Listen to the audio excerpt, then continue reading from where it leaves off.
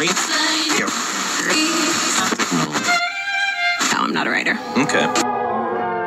Something is about to break.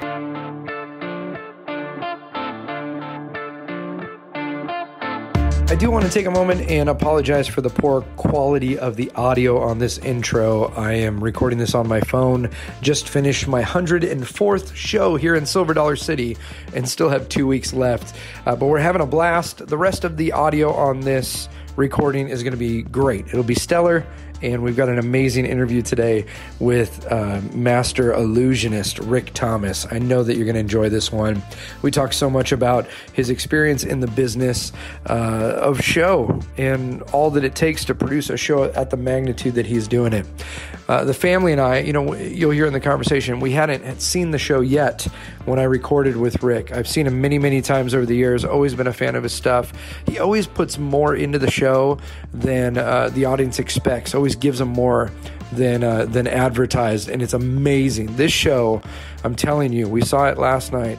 It's brilliant. If you have a chance, if you're anywhere near Branson, come see the Mansion of Dreams. It's an amazing show.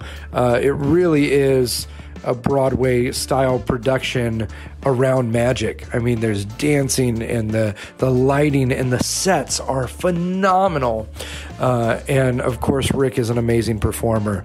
This conversation uh, is really great too because we get into some of the, you know, the personal side of things. The fact that you know, for many years, as Rick will mention in here, he he was he was hustling and grinding and, and pushing towards something, and uh, you know, in the process of doing that, sometimes you can you know maybe not think about other people first. And there's some great thoughts in here uh, that Rick shares just about realizing that everybody's on their own journey and uh, and really caring for other people. So I, I, I think you're really going to love this. It's a great, great conversation and uh, with an amazing performer. So sit back, relax, and enjoy episode 121 of the About to Break podcast, my conversation with the amazing Rick Thomas. Hey, friends, welcome to About to Break. I'm your host, Taylor Hughes, and I could not be more excited right now to be sitting down in his green room with the incredible Rick Thomas. Thank you so much for for having me. I appreciate you being here. Can you tell that uh, we're talking early in the morning? Uh, Yeah, we both. I, I've got. I've never sound this suave. that early morning, uh, you know, buttery voice going on. Well, you- it's, I thank you for coming out here. It's good. Actually, I'm here early in the morning because I'm I'm, I'm at the theater fixing props. you you caught me having to deal with uh, making sure something works before tonight's show opens. So, uh, Well, there are so many amazing parts. I got to see your show last year. We were just talking, and and you've changed so much more since last year. But one of the things when pe- people when we're talking and Rick Thomas comes up, the first thing I say is every every time I think the first time I ever saw you was in a It's Magic show years ago, and then mm-hmm. caught your your show in Vegas.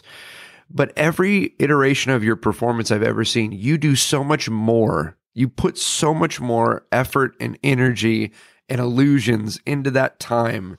Most guys buy an illusion and they're like, "How long can I stretch this Yeah. out on stage?" Yes, yeah. Well, I, I do. I have a concept uh, with that. Um, I believe that if you make a, uh, this is the best way to put it, if you make a girl float in the air two seconds or two minutes, Yeah. she still f- flew in the air, Right. and there's no need for further proof. Yeah, And uh, it really uh, challenges me when I watch uh, a magic show of any type where the magician attempts to show every form and feature in making something float in the air to prove it's floating. And in the process, they've proven that it doesn't float. oh yeah.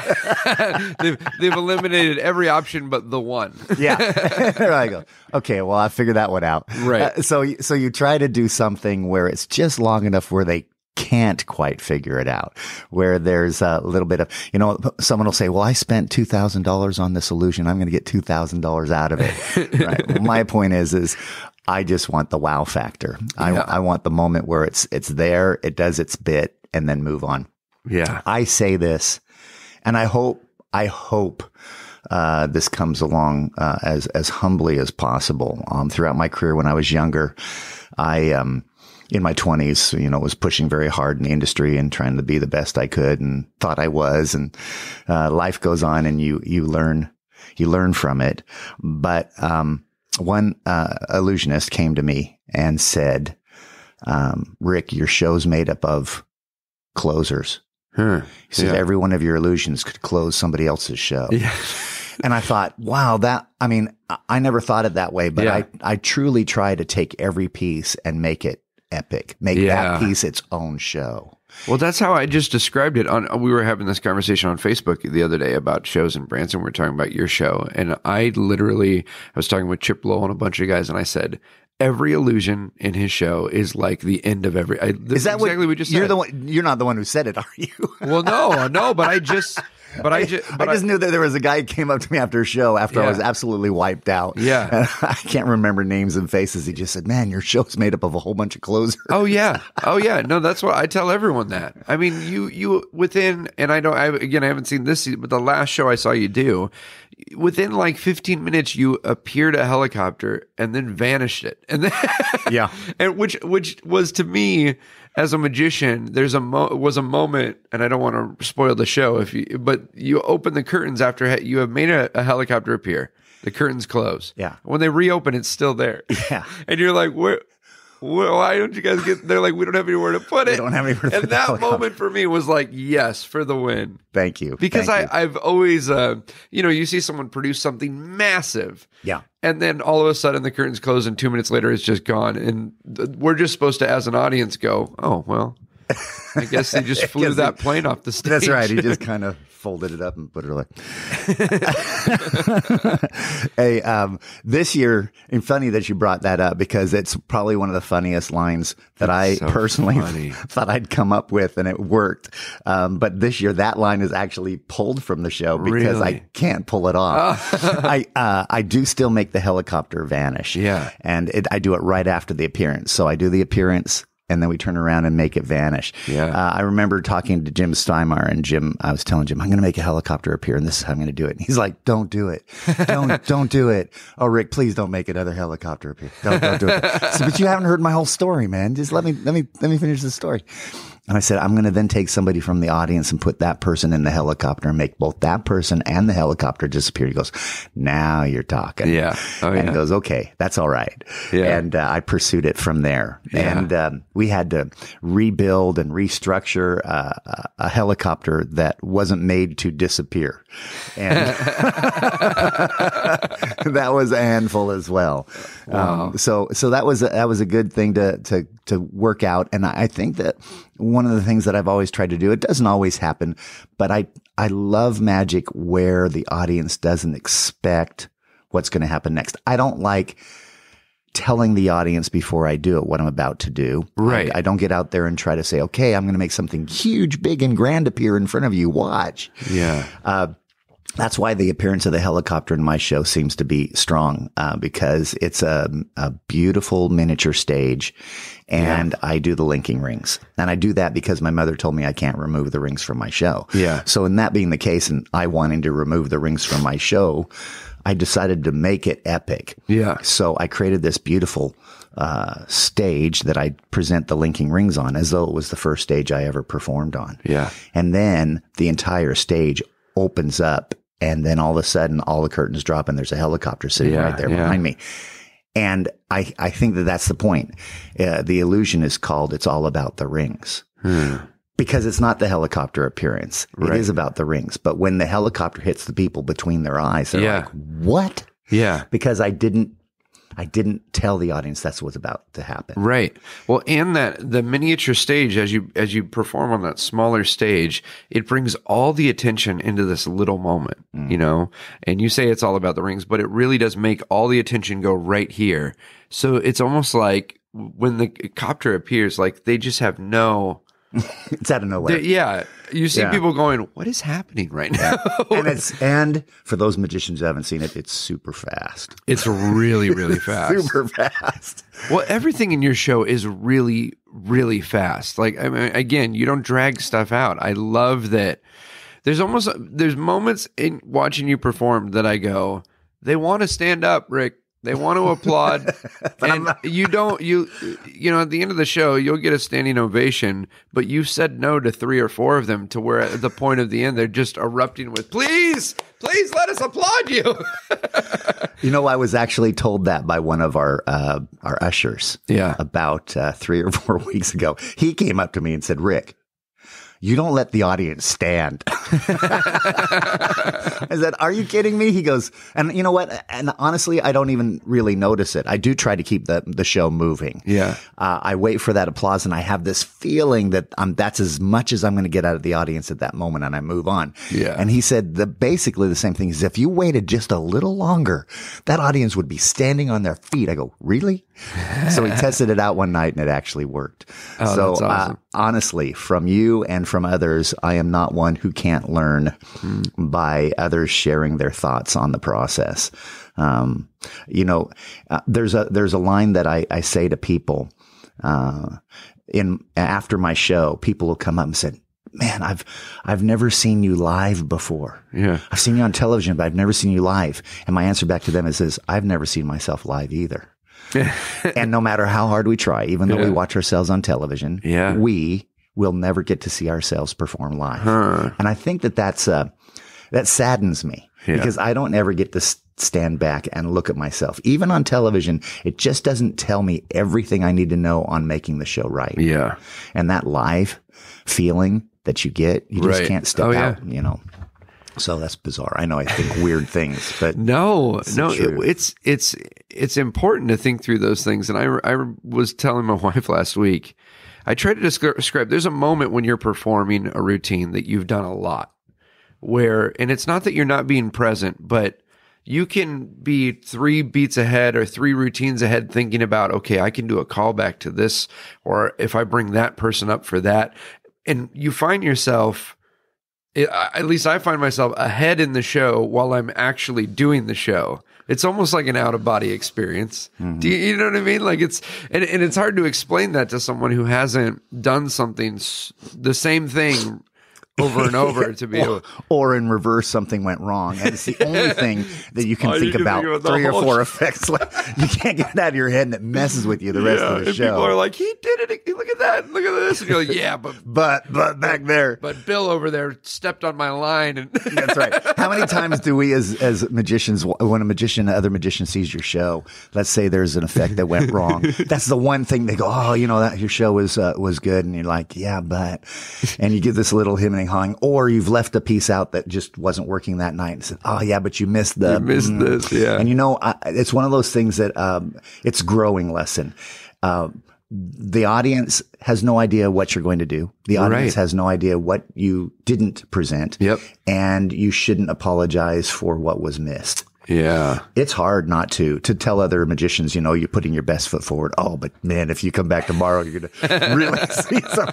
Yeah, right, Rick. Right. Whatever. Yeah. You know, just let it go and uh, and take the uh, appreciation and move on. But, I uh, think I think performers in general that's a that's usually a struggle is is is accepting praise or compliments and not always because we want to as artists always be critiquing our performance but you know like you said to be able to go well thank you yeah, because there's always something that's wrong in the show, especially one that is of this size. And, and Mansion of Dreams, yeah with the sets and everything that we need to move around backstage to pull it off is Yeah. there's there's a ton of stuff that can go wrong. And uh, in fact, last night something did. Audience didn't notice, but again, that's why I'm here this morning, right. repairing a close to disaster moment. oh no oh but my God. but nobody I mean nobody literally knew. Right. And I did I I will tell you um um sometimes I share someone will tell me, "Wow, that's that was an amazing show this or that." And I said, "You want to know something really amazing? Watch it from backstage." yeah And they're like looking at me and I go, "You have no idea. It's a cooler show backstage than it Yeah, I'm sure it in is. front of the audience." I myself even I was like, "Man, we pulled that one off again." Yeah, see, it's it's different when you're doing a you know you're doing a card technique and you might flash to one person on your right in, in a group of twelve. You're in a massive theater. You don't want to flash a helicopter. You know what I mean? Like, no, not at all. Also, uh, before every show, and I think that this comes from the length of a career I've had in the industry. Uh, I stand before every show and look out over the stage before Yeah. the curtain drops and look at everything that is there that is going to be presented.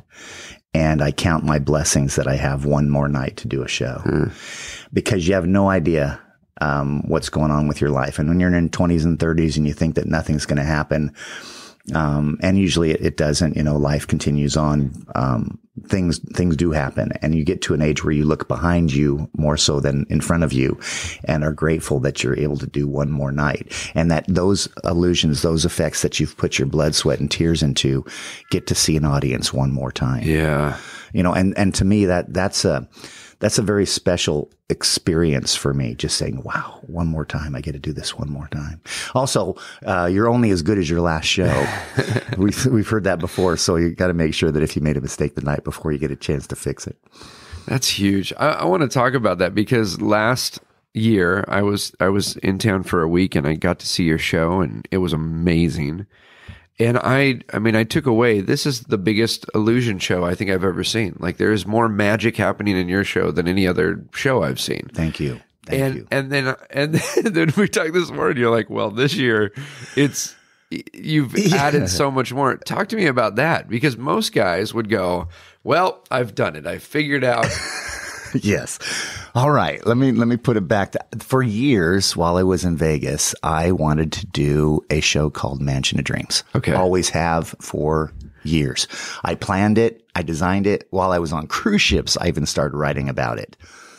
And uh, there was a plan to present the show in Las Vegas and put it into a hotel that was never finished. Okay. So Mansion of Dreams was going to be presented in Las Vegas. And about the same time, I was asked to come out to the Andy Williams Performing Arts Center in Branson, Missouri and present my show. And I said, only if I get the chance to present Mansion of Dreams. Now, the funding and everything for the show in Las Vegas was not coming from me. We have a there's a saying, and, I, and if there are illusions out, illusionists out there who disagree with me, I disagree with you. the, the the the verbiage is we are prop poor. Um, we illusionists put everything that we have into our show and into our props, and at the end we turn around and go, "What do I have? a whole bunch of props on stage. It's an extremely expensive sport." Yeah. Oh yeah. And um, uh, so I got out here to Branson knowing that I had to continue to present my show as it was in Vegas and do it, everything I could to try to build out Mansion of Dreams. Yeah. Well, five years later, in our sixth season, I was able to open up Mansion of Dreams. It took 10 semi trucks to bring the sets in from New York to Branson. We did it stealth. Nobody knew what was going on.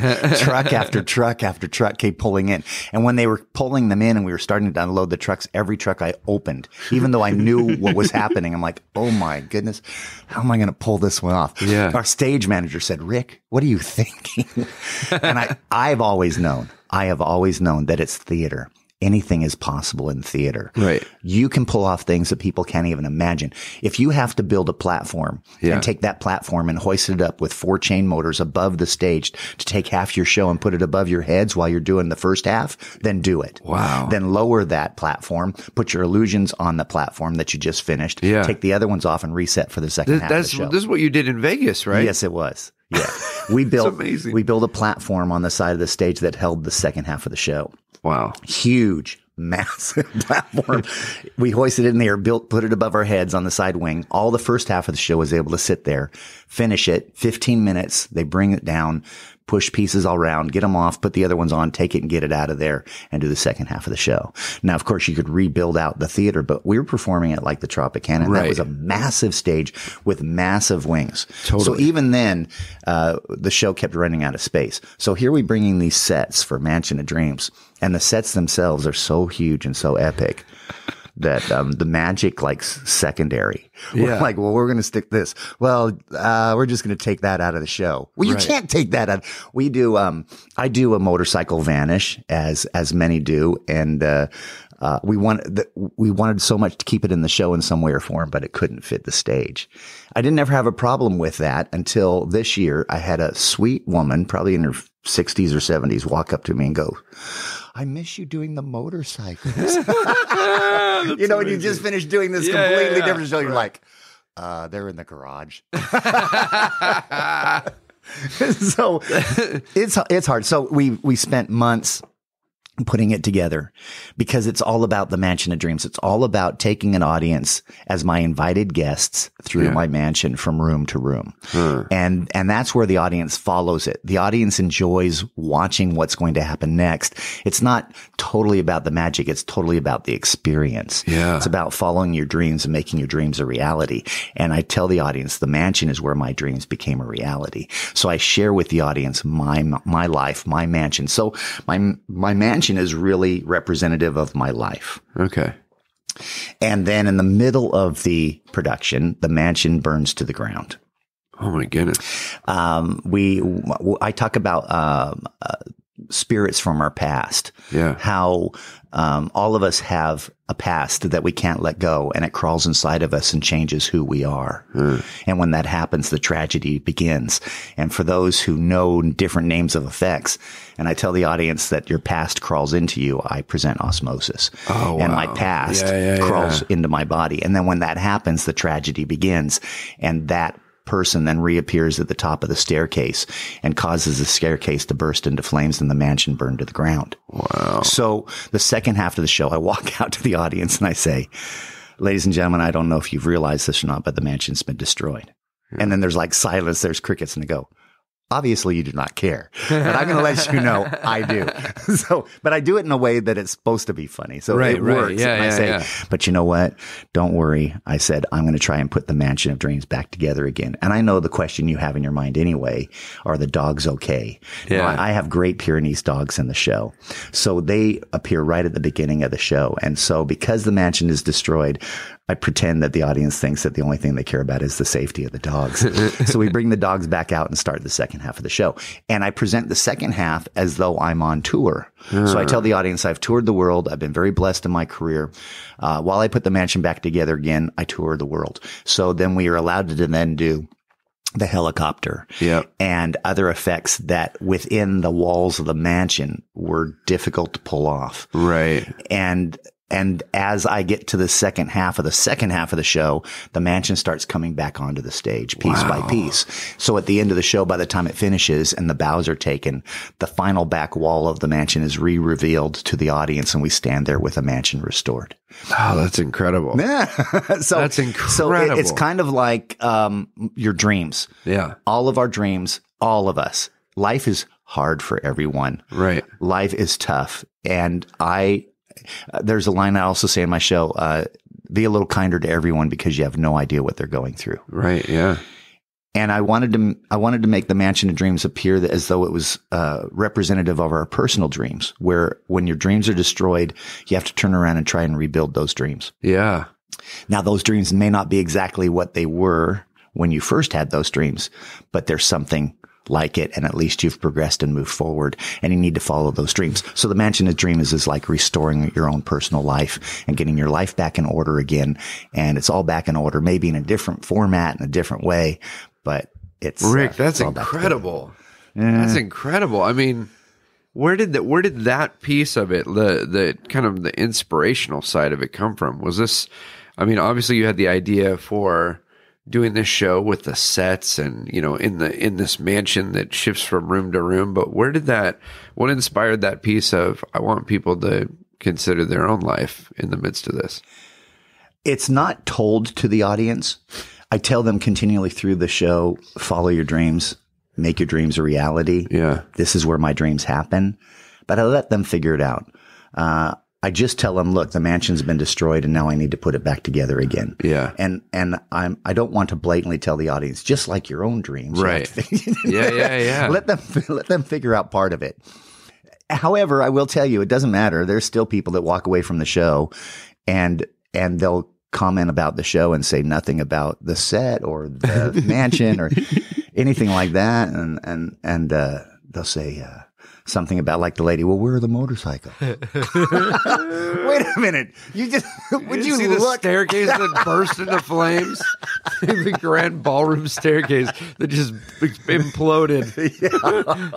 and you have no. Idea. I remember when we brought the um, fire marshal over to show the this the the set. And and we turned on the stairs and he's like he goes he looks at and he's like whoa that's way above my pay grade. He goes like, you guys know what you're doing? And i go yes i brought the greatest pyrotechnic uh, professionals in the industry and to put this together and uh, you know gave him all the credentials and then showed him our system. And Yeah. it is that's why I tell the tell you that the greatest thing in a magic show is backstage because the effect itself is stunning. Yeah. What we do to pull it off and how it looks to the audience is good, but backstage is It's pretty crazy. killer. Oh, that is awesome. And then uh, and then the curtain closes and I I, I crushed I, I collapse to the ground and Yeah. the curtain closes and the fires are put out and everybody sits there for a moment and takes a breath. I uh I, I was worried at first on closing the first half of the show that it wasn't magical Yeah. because setting a f- uh, f- stairs on fire, so to speak, isn't magical, but it's theatrical. Right. It is. It is stunning. I, I've always felt that magic is the perfect art form. Hmm. I don't. I believe that that people are truly talented when they can sing, they can dance, they can act. But a true magician needs to be able to do all of that Right. Yeah. everything is encompassed within a magic production the sets the costumes the some guys don't have to sing but dancing around uh, the theatrics the acting Right. all of all of that the greatest of what it is to be a performer is what's within the world of magic and the mansion of dreams is that it's me taking it to an epic um, uh, broadway style production and create a mansion that is so beautiful and goes beyond the magic Yeah. that it becomes a show that's not about the magic Right. magic's part of it i want it to be a magical show Yeah. Yep. not a magic show That's so good. yeah That's so good, man. I can't wait to see it. We're we're coming. I'm bringing the family. oh you think so Yeah. Oh, I want we're, to. we're not letting you in Oh no, we want to go. So I I got to see the show last year, and when we were making plans to come, so we're here for six weeks this summer. Wonderful. And while we're we were making our plans, I'm like, okay, when we go, we're all going to see Rick's show. Um, and now they're going to be even more stoked to see it because my daughter, my 13 year old, is obsessed with production and Broadway and musicals and how things go together with sets. And so she's never seen a magic show that has its own set, you know? Yeah yeah. And you know most most magicians troop. And so it's all backdrops if they have anything. And uh-huh to be able to to build in stuff is amazing Well, I uh, my my inspiration uh, watching Siegfried and Roy in Las Vegas. Oh, yeah. uh, and the opportunity to do so and see their elaborate production, um, and the sets and the style and the scenery and everything that went with it was just. I think that maybe the young generation doesn't know sometimes some of the magic that's already been presented in the world. And I know that we got some really cool card tricks and close up stuff going on on the internet. yeah Um, but the David Copperfields, oh yeah the the people that created unbelievable effects, Yeah. and the work that went into it is Yeah. far removed from some of what I see today. yeah I wonder sometimes where is the creativity? Where do I see it happening? Hmm. Uh, it's I think it's it's it's a style that was uh, one generation, Hmm. and then we have another generation with a different style, and then maybe the next generation will have Grand Illusions again. Yeah. but I but I see it changing. I see a lot of people doing close up. I see them doing close up with cameras on big screens in Right. theaters.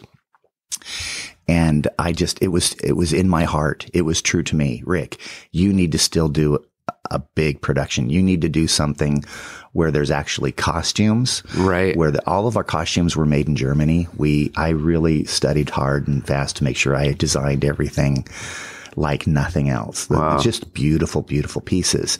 And, and I just felt that it needed to be something grand rather than something minimal. yeah I just feel that sometimes some of these shows are going minimal on us, and uh, uh, at least for myself, mm, before I left this wonderful world of ours. Yeah. I wanted to do that show where I was proud of it. And Mansion of Dreams is is that. Now, I'm going to tell you right off the bat here. Yeah. My whole concept about dreams is is once you have a dream, it it creates more dreams. Yeah. And once you've completed that dream, you can't stop from dreaming even further. Right. So now that Mansion of Dreams has been completed, it's not complete. That's what I was. That was my next question. Our that was my next question. Our plans for the future with Mansion of Dreams is uh, I'm already working on new illusions, new effects, new design, and uh, hopefully making it even bigger and better than what it is. I hope you're enjoying this episode of the About to Break podcast. Three quick ways that you can help us out here at About to Break. The first one is to go on iTunes and leave us a review. Uh, if you enjoy the program, please leave us a five star review. Big thank you to everyone who's already done that. If you haven't yet, please jump over to iTunes. You'll need your iTunes account information, uh, but you can click on the podcast, leave us a five star review. Just leave us a one or two sentence little blurb there. Let people know what you like about it. That helps us out huge. Second way you can help us at About to Break is by becoming a producer. Uh, our goal is to have a thousand people giving at least a buck a month to help offset the cost of producing these shows, and it does take time. And uh, it is a passion project. I will continue putting these out for free because I think it's a helpful conversation. Uh, but anything you can do to help us out by producing the show would be awesome. Go over to abouttobreakpodcast.com, click on become a producer, and see what that's all about. Last thing that you can do, and this one is also a real a real simple way of making a difference, is just sharing the podcast. All right, when you see it out there on social media, on Instagram, Facebook, uh, go ahead and follow along, and then share it with your friends. Let someone else know how much you liked it because it sure does make a difference. All right, back to the program. It's it's such a contrary attitude. I mean, you you talk about things going in waves, and this happens with everything with clothing styles. You know, bell bottoms come back in, you know, every thirty years or whatever. but uh, but it's so contrary as well. Your attitude of how can we give the audience more? Most performers, and I find myself from time to time in this mindset of uh, traveling and going, how can I pack small and, Play and- big. yeah, and often, unfortunately, especially when you look at the things that are marketed to magicians to help them play big, it's just it, it it's it happens in their mind. The audience is not getting a big show, Yeah. you know. And I, the idea that an audience doesn't want to see props or doesn't want to see sets or costumes is ludicrous. I mean, look at Broadway. Yeah. You know? Yes. So it's it's you have a definitely a different approach to most guys when it comes to how can I continue to give the audience, you know, under promise and over deliver. There are um, there is actually two sides to that. One, I um, I I appreciate putting the big f- effects in, and sometimes those effects are the are the thing that may draw the audience in, but they aren't always the thing that the audience remembers. Right. That's what you have to point out. More often than not, the big grand effect is far less impressive, Right. and far less wow than everybody thinks it is. But it's it's the draw. Yep. I have, uh, I've, I learned it. I learned it when I watched a, um, a show. It was in Vegas as well. Um, it was called EFX. Oh, I saw that with MGM? Michael Crawford. Yes. Yeah. Okay. Amazing. Let me tell you, it was amazing. And people again forget the sets, Yeah. how huge it was, the Yeah. amount of money put into this production. The greatest segment to me in the entire show after they've seen lights, flashes, videos, production. The curtain opens up and there's a table sitting in the center and there's a spotlight on the table and there's like 10 people surrounding this little table and the, com- the stage is completely empty. Yeah. There's nothing there. And they're doing a seance. Yeah. And all of a sudden, all the people fly away from the table, and Oh, the yeah. table flies up and goes away, Yep. and leaves the stage empty. That was Yeah. Stunning, and it's the thing that you remember because it's there was nothing there. Right. So, so the big has to be there. The mansion has to be there. The the fire, the pyro, the it's there. But there is a point in my show that I do um, a piece called uh, Liquid Glass, and uh, it's on a huge stage with a huge set and it's a little piece at- like I do in one. Right, like right, yep. Small little piece. And more often than not, I will I will have people come out of the show and say my favorite part of the show was that what you did with that glass. Yeah. Because it was it was a moment. It's like you're screaming and yelling, "Look at this set!" But look at, Yeah. and that only thing they can focus on is that little thing in the center of the stage, Right. and it's so quiet. Yep. It's so quietly deafening Yeah. that the audience just can't. They just you hear the audience, they're silent. They're like, Right. Yeah. and that's that's the moment that when they walk out. And now, uh, the funniest part, though, you do ask people after the show, "What's your favorite part of the show?" Right. Children, it's the dogs. or the streamers that shoot at the end of the show. Yeah. They, they love the streamers. I said, then I'll just do two hours of streamers. Yeah. And then uh, uh, I'll get a lot about the helicopter. But most more important than anything now this year is just how epic the set is. Yeah. And um, how I tied my life around this mansion of dreams. Yeah. It's it's that's amazing. I cannot wait to see it. I'm stoked. I want I want to ask about you've worked in Las Vegas. You've worked all around the world, but you've done residency in Las Vegas. In you were in Guam for a while, right? Residency, Five, five years in Guam. and then and then now you're resident in in Branson during part of the year. What is what is the biggest difference in those? I mean, those are vastly different audiences, environments, weather. Um, uh, how how do I? The biggest difference. I brought what I thought was a family show from Las Vegas to Branson yeah, because it is a family show. Right. My show was the cleanest show Yeah. that you could have in Las Vegas. totally. Yeah, But but the the first thing I learned was don't tell people in Branson you're bringing a show from Las Vegas because mentally they think that's they think it's a Vegas show. we are definitely in an area we call the Bible Belt. Yep. And I'm an, I'm religious. So my mother, if I can't do a show for my mother Right. and our standards, then I can't do it for anybody. But Yeah. it doesn't matter. No matter how hard I tried, no matter how much clothing I put on our dancers, you, you still get right, individuals saying, I can't believe what I've just seen. right, And my interest is I, I have to play to everyone the best I can. Right. But what I find interesting is just a little secret. Doesn't matter where you are in the United States. We all have the same problems. Right. We all have the same secrets. yeah, And those people who tell you that their life is all, all good and, Right. and it's all, you know, it's all religious. There are skeletons in everybody's oh closet. yeah, And Branson is that kind of place where we say, wow, it's all about the family. It's all about this and that. But there's an undertow. There's, Yeah. there's something Yeah. out there. And, uh, but I am glad. I am very glad that I can raise the family here. I'm, I'm very happy that I can present the show in the style that it is. Yeah. There are a couple lines I've actually truly just removed from the show. They may, they're not suggestive. I've, I've designed a show my whole life about saying something that's way over the heads of children. Right. And I say it to a, the adult audience, and it's not even blatant. It's not a joke. It's not a line where I say something and it's just blatantly what I mean. Right. I try to say things where it it sounds like something but means something else. Yes. Where the Yeah, yeah, audience yeah. has to figure out the joke. yeah. The joke happens in their mind. Yeah. Um, one of my famous bits in my show is where I bring the little boy on stage.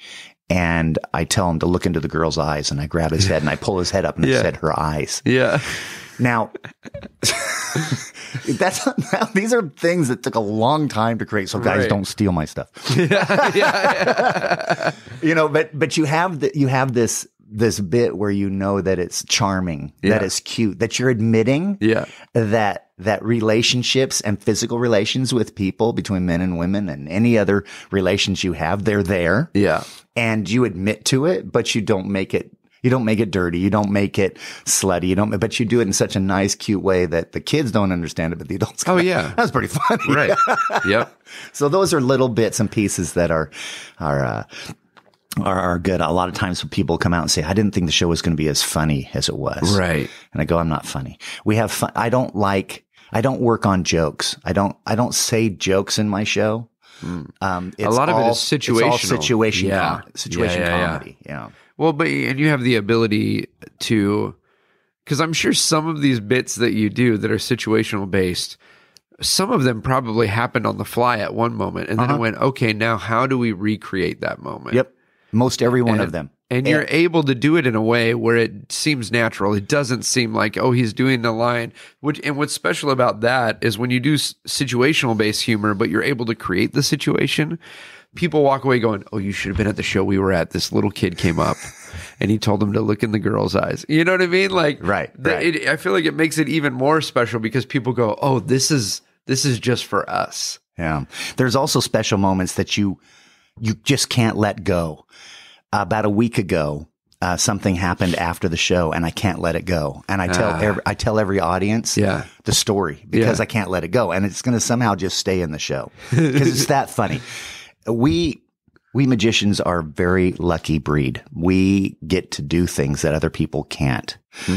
Or at least it appears that way. Right. We can cause ourselves to fly in the air. We can change something into something else. We do things beyond human thought. Yeah.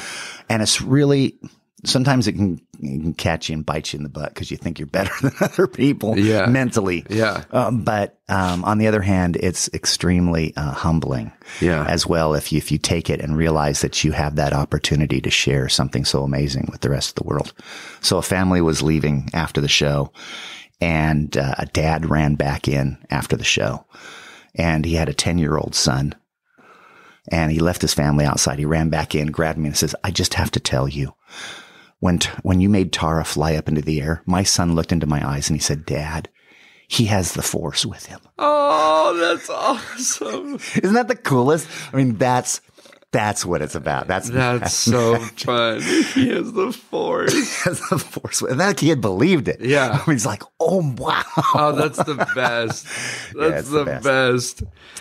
Oh, I love that. I was thinking about a little guy that came up the other day, and uh, I love these little moments where, like, this this kid goes, uh, I, I people were saying magic wasn't real, but now I believe it's real. it is real. it is real. I believe it's real. yeah, I think that the the show works because I believe it's happening. Uh, Yeah. Everything I do when I'm doing it, I'm as shocked as the audience. Yeah. Whoa, that's Yeah. amazing. And the and the look in your eyes has to show that you Yeah. are absolutely in love with the art of magic. And what do you do on those nights? Because there's maybe they're once a year, maybe they're once every six months where you're just not feeling it. There's got to be, you know, every performer gets to those moments where where you go, I don't feel like being magical right now, but there's an audience waiting. Do you have any sort of routine, or ritual, or Can I tell you? supplement that? what do you do? All right. I, I'm going to say this humbly again, and you guys can count my shows I've done, but it's every night. Yeah. It's not every six months. it's not every year. It's every single night. I have been very lucky. I've performed over 22,000 shows in my career. Wow. Uh, starting with um, um, shows at Disneyland Hotel, three shows a night um, for two years, and then off to cruise ships, and then fairs in the industry and theaters. And I counted it up, and it makes me feel ill. so, so now uh, with a career of forty years, before every show, now creating Mansion of Dreams, Lance Burton said it best to me Yeah, when I was sitting there backstage at his theater, the Monte Carlo. yeah. And he looked at me. he looked at me right in the eyes and he says, Rick, be careful what you wish for. and you know what? It, it, it, it went to my core. So here I create Mansion of Dreams. And before every show, these words, be careful what you wish for. and um, I sit there. My cast know to leave me alone in my room. I'm, I'm there. I sit in my chair and I have my head down about 30 minutes before show and go, Oh my goodness. Oh my goodness. Oh my goodness. Oh my goodness. I have to pull off this show again. Oh my gosh. and then, uh, I, I get on stage and about about 15 minutes into the show, the first portion of the show, the where, where the mansion moves, the the the dancing, the everything that goes on on the first 15 minutes just says bam bam bam bam. And I, I then walk off stage and I change my shirt and um, there's a transition occurring and I take a breath and go, okay, I can get through this one. Yeah. And that's how I get through the next show. And Yeah. by the time, but by the time the show finishes, because I wonder every night why I'm doing what I do. and then a- after it finishes, I walk out there and I greet the audience and they all leave. And, um, I stand there in the uh, front area of the theater Yeah. and there's silence. And I think about what has just happened in the past two hours and I go, this is why I do what I do. I know that all those people walk out and they are, uh, we aren't we aren't that important in their life. Um, I hope that magicians realize that if they think the world is centered around them, it's not. it's everybody has troubles and everybody has problems, and once they see your show, you're a couple hours of entertaining them, and then they move on with their life. Right. Um, and I just think that you, when you realize that and you put yourself in a spot where where we're very lucky to be people who make people happy, Yeah. but not get so caught up with ourselves. I saw it when uh, sadly Siegfried and Roy show closed in Las Vegas. Um, uh, Roy, of course, was hurt, and within uh, a week or so, billboards were removed. Uh, a new show was put in place, and is it was almost as if they had never existed. They were an, I mean, an entity. They Vegas. made yeah. Vegas. Yeah. They were part of what Vegas was and even is today. Yeah. And I realized at that point that we are that. How do else do I put it? Okay, uh, I I a lady came up to me uh, uh, uh, right before the show started. She was asking me all about the show. What am I going to see? All this and all that. She's about 40, 45 years old. I said, I can't tell you that. Just enjoy the show. Yeah. Just enjoy the mansion. And she looks up at me. She goes, Can I ask you something? I go, Yeah. She goes, Who's Andy Williams? Now you have to remember we're in the Andy Williams Right. Theater. We're in the Andy Williams Performing Arts Center. Yeah. His pictures and every superstar of his Yeah. day Yeah, yeah, are splattered all over the walls. Right. And she said, Who's Andy Williams? Yeah. Now she was at an age where she should know who he was. Right. I also brought on uh, a young magician uh, and brought him in as like an intern at one point. He was about 20 years old. And I, and he, he said, how do you want me to act? I said, like Jerry Lewis. And he said, who's Jerry Lewis? Oh. So no. that I hope, that I hope tells magicians get a grip Yeah. because Right. because life moves on and you're only there for a moment. So when I stand there on that stage and I walk out and I look at everything that's out there and I say how lucky I am to perform one more show, Yeah. I mean it. Yeah. Yeah. I mean, yeah. You know, and it's super cool. It is just, it is amazing to go to those props and pat them. Okay, one more night. You're gonna do, you, you lucky little props get to see one more audience, you know. And, uh, and I, I feel that way. And I think that that's where it's come to. For all those people who thought Rick Thomas was, um, ruthless and mean and challenging in my younger years, uh, I feel that there's a, a big difference. Maybe Mansion of Dreams did it as well because I am not so thrilled about what I present. I'm thrilled about what I know the audience is about to see. yeah.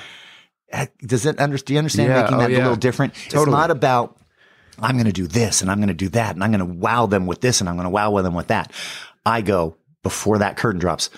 Wow, I know what this audience is about to see. It's so cool. you know, because I think it is. Yeah. I think it's beautiful. I think it's it's amazing. It's the most amazing thing I've ever put out there. And I I gave it everything I've got. My life savings went into it. Remember I told you I was prop poor? Yeah. Yeah. Yeah. Yeah, I'm set poor. Everything I have went into this, and uh, I am just very proud to know that when people walk through those doors, that I'm confident that they're going to walk out enjoying the evening and that they're going to experience something just really beyond what they expected. The silence when the curtain drops and they Yeah. see that ballroom for the first moment, Yeah. people are like, you can see it. I, I know I don't come out till later in the in the show. Yeah. So the uh, I, I stand on the side making sure everything's working, all the electronics, and at the same time I, I peek my head around the side and I just people's mouths. That's what's great about magic. We all know everybody's mouth opens at the same time. You know. Yeah. I was, I Oh, yeah. like, there's no applause. It's just Yeah. open mouths. It's the show you get to see. Rick, that's beautiful. It's such a healthy perspective. Um, I think all too often we can get, and I think it's where a lot of the anxiety and the pressure in this business comes from because we feel like what we're doing is so critical and so essential. And, you know, it's like people who do actors who have been on Saturday Night Live, you know, comedic actors that go on Saturday Night Live. Everyone who ever talks about it, they talk about it now like it was the greatest thing, but they all say I didn't enjoy one ounce of it because I was so stressed and worried and feeling like I was going to lose my job or, you know? And I think we do that as performers all the time. Like we get so in our head that we're not ever in the moment. And like you said, sitting there and appreciating and thanking and being grateful for that show that you're doing right then. Yeah. It's about, and I tell my cast and crew as well. Uh, there was a point uh, performing in Vegas as long as I had, um, uh, that my crew, crew often because they don't get to see the audience, they don't have a relationship with them. Right. And they start letting their guard down. They Yeah. don't quite do what they should be doing on the stage. And you have to tell them that every single person on that stage is critical and important. Nobody's more important than anybody else. We're all a team and they have to realize that there's an audience who paid a lot Yeah. Uh, yeah. of time, effort, and money to be at this show. And it's your responsibility as much as mine to make sure it happens. right. I'm the lucky one. I'm the one who gets to have that relationship with the audience and I never forget. Yeah. But you have to remind everybody who's involved. Don't ever forget that there are people who deeply appreciate what you're doing back here. I know you're not seen. I know you're not appreciated as though you think you should Yeah. be, but everybody's important. So I, I give them that pep talk and tell them, don't ever forget. Um, be there for the moment. Be there for that show. Yeah. Give them all you've got, uh, and um, and appreciate the success of the show. It's amazing. But uh, it's it's hard to put into words until you've lived it. Yeah. Um, they say that uh, uh, every time anybody goes and talks to a wise man or a wise woman or a wise person, they're old. They're portrayed as somebody old. And why Right. is that? Yeah. Because you can't learn it's experience. except through experience. Yeah. And you look back on it and realize, wow, I thought I was good. I Yeah. thought I was something. I thought I still was something. And, and now I'm just grateful that I have that chance to be in people's lives. I say a line in the show, which means more probably to me than the audience realizes. Yeah. I have a new effect called clairvoyance that took two years to put into this show. I'm very proud of it. And I turn to the audience and I say, everybody is important. Everybody has a life. Everybody has a story to tell. Every single person in this world. All of us in this room are only here together at this one moment in time and will never ever together be here again. Yeah. This is it for this group of people. Yeah. So when you take it and you take that moment and realize that all those people sitting in that audience and you together, that's it. That's, this is our moment together and Yeah. life moves on. To me, it may be a little bit more deep than it needs to be, but I, I think seriously, wow, that's, wow, that's just a special moment that all of us Yeah, had yeah. together. Oh, yeah. That we're never going to experience again. Absolutely. So for that reason and that purpose, I take every show seriously. Also, my grandmother taught me well. My sister and I, I don't know if Mark Kalin remembers this, um, but I do. uh, I uh, it, I have tremendous respect and love for these people in the industry, uh, Mark and Jinger Kalin, and um, the, just the amazing people they are in the style Oh yeah. that they have. But I grew up ballroom dancing. And my grandparents taught it, my parents taught it, and to this day, they still teach ballroom dancing. And my sister and I competed in ballroom dance. And when I started to perform my magic at first, I was very, best way I can put it is Blackstone. I'd stand there and I'd point at an illusion and then something would happen and. I'd point at something else. And my feet, my feet wouldn't stop. I mean, they just started dancing around on the stage. and uh, I remember very young, Mark had come up to me and goes, What are you doing? I said, I don't know. I'm just dancing around. I can't help it. dancing around on the stage was a little goofy for a magician, but I found my place. I found my style. Yeah. And I found the way I present my production, and it stuck with me. Yeah. Um, so that's, I'm comfortable in my own skin. And I, I found myself.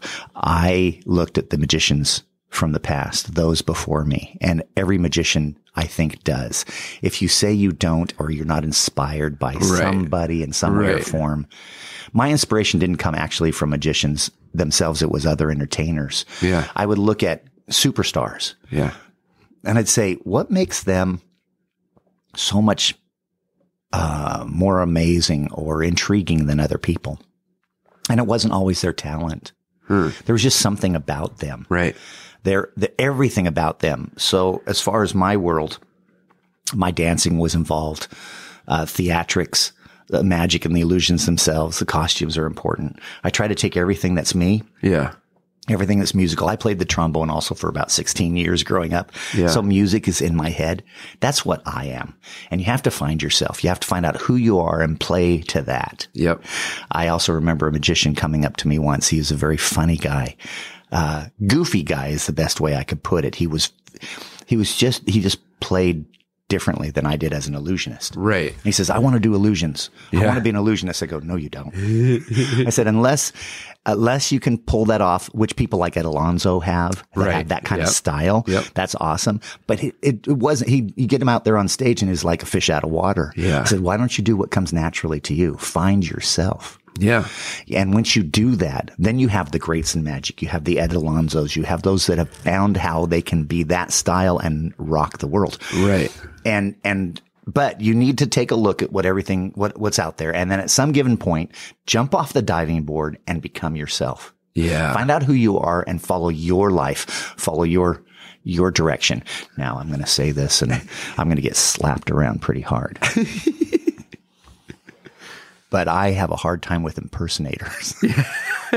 There's quite a few. yes, and that's why I'm saying it quietly. yeah, we'll say it quiet. My reason is, is um, I know that we appreciate stars and we appreciate learning from them and who they are. Right.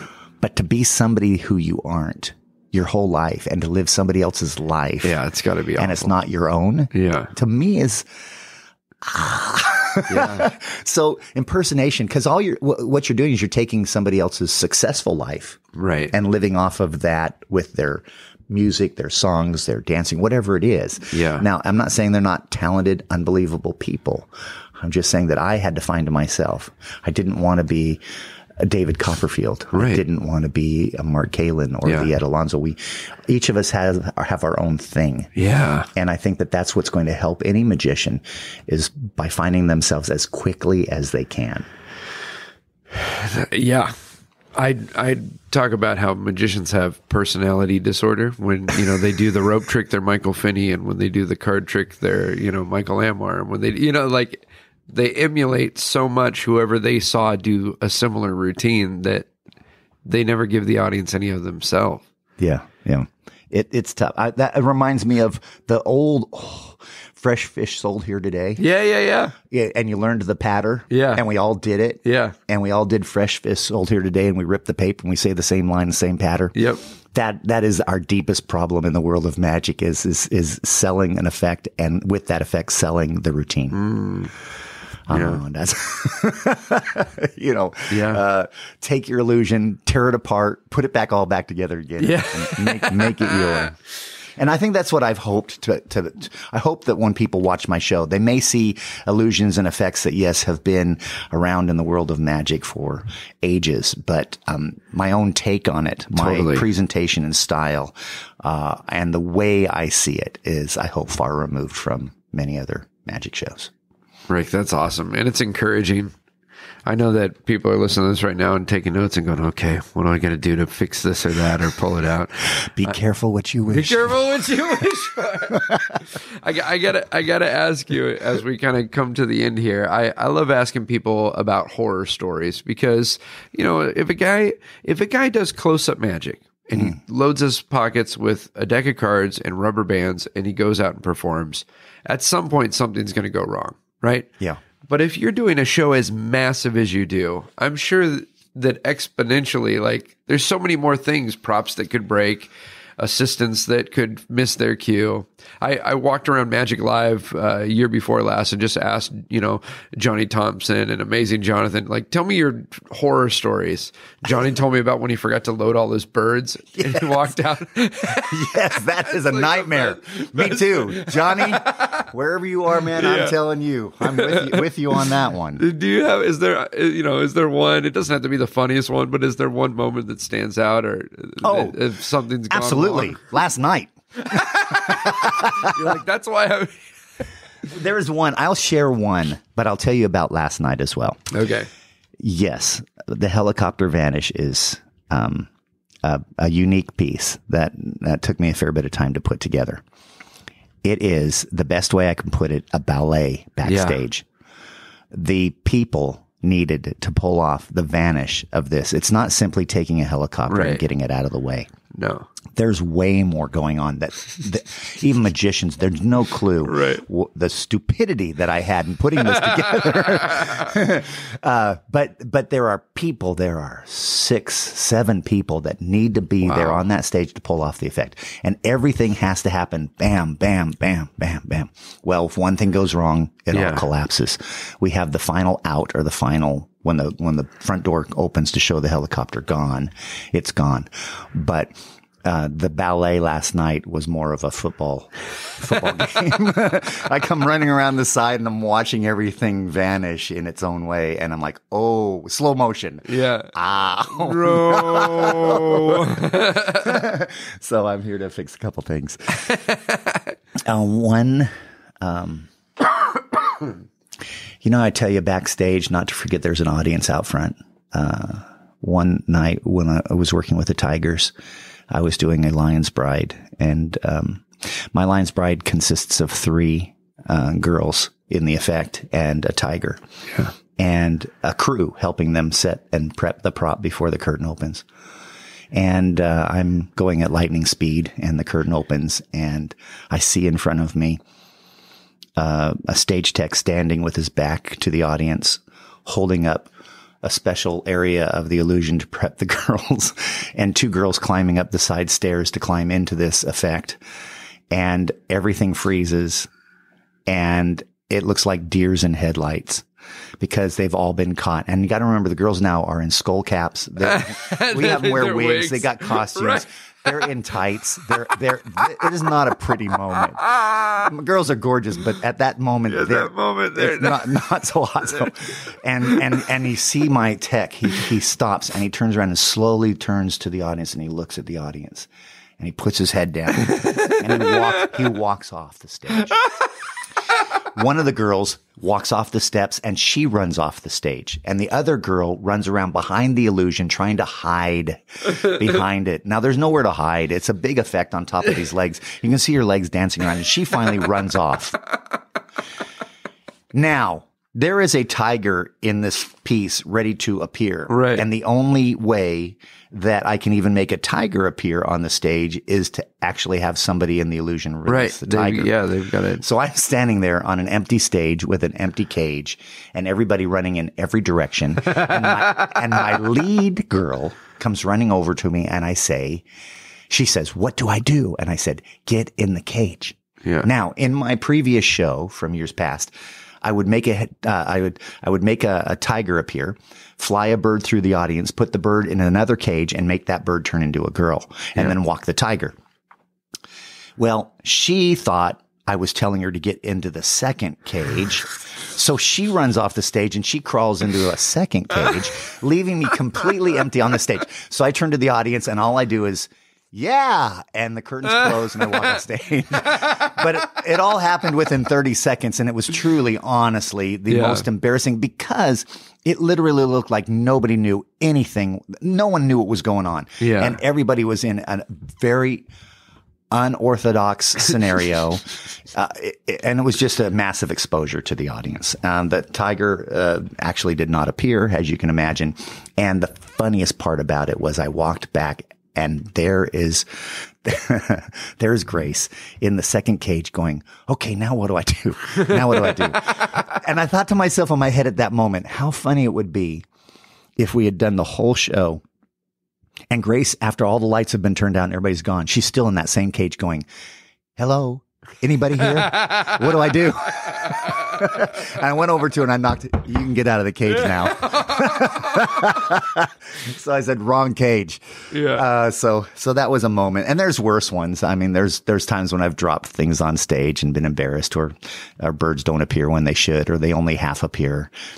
Um, so, you know, this, it goes on and on and, and there are books that all of us can write. And I think that the, that's one thing that uh, magicians probably truly enjoy more than anything else is all of them sitting around a round table and everybody telling everybody their, their horror stories. right.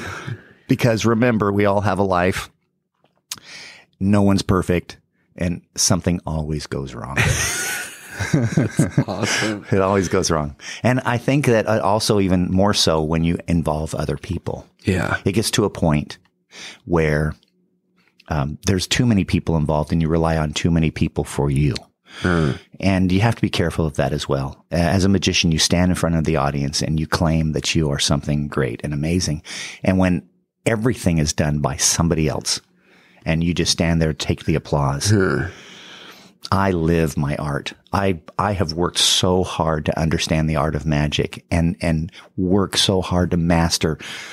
When I was doing close up magic, it's my passion. Close, I love close up magic. Yeah. Learning passes, learning the lists, m- learning counts, all those things that are critical to understanding what card magic is all about. Yeah.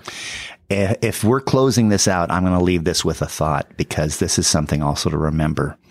Uh, we have just lost Don Wayne. Yeah. and uh, he was uh, inspirational in my career. And I leave a thought about Don, and this will help all of you who think you have to do something amazing to wow the audience. I turned to Don one day and I said, Don, I want to make one of my illusions magically glide off the stage at the end of the effect. I want to just take my hands and just throw them out in the air and the, the illusion and just leave the stage. Hmm. And I said, what kind of mechanism? What can I do to create this? What, what do I have to build? What kind of tracks do I need to put this on? And Don looks at me and he says, a rope. and I go, what? He goes, less is more. Yeah. I said, tie a rope to the bottom of it and have somebody pull it off the stage. Yeah. He said, one, it will never fail. yeah. And two, it's the same effect. Yeah. Don't complicate things. Yeah. To Don, thank you. Yeah. Use a rope. and uh, again, it's those little things you need somebody from the outside to pull you back down to the ground. and say, Yeah. Stop it. Yeah. Stop it. What are you trying to do? Yeah. What's your final effect? Yeah. If you have to do 10 passes in a card trick to pull off a card trick, I can guarantee you the effect is not worth Doing 10 passes. 10 passes you're Right. doing to do it. Right. So I say, look at what you're doing. Look at the effect. Look at how hard you have to work on it and say to yourself, is it worth my efforts? Same thing about how long you do something. Right. Don't blow it by dragging it out when you don't have to. Yeah. Hit the audience between the eyes and move on. Find out what is great about each piece you do Yeah. and master it. That's fantastic. Thank you so much, Rick. Thank you for taking the time. This has been incredible. I mean, I I, I was going to take notes, but I got it recorded, so I don't have to. Oh, I'm lucky going to go back, go back and listen to this over and over. I So- thank everybody again for listening. Please know that, uh, again, in my later years, I've chilled out. I am, uh, I use the word blessed because I am. I'm super blessed to be in the world of magic. I love this art form. I truly love the art. I love entertainment. When I go into a theater and I watch any live show, it does not have to be magic, anything, I probably the first person to cry. I sit there in the audience and go, wow, this is the coolest thing on earth. Yeah. How lucky we are to be part of this industry, to be live entertainment and um, and change people's lives in some way or form and make a little bit of their life happier. Uh, I, I appreciate it. I'm grateful for it. And I'm grateful that I get to do one more show.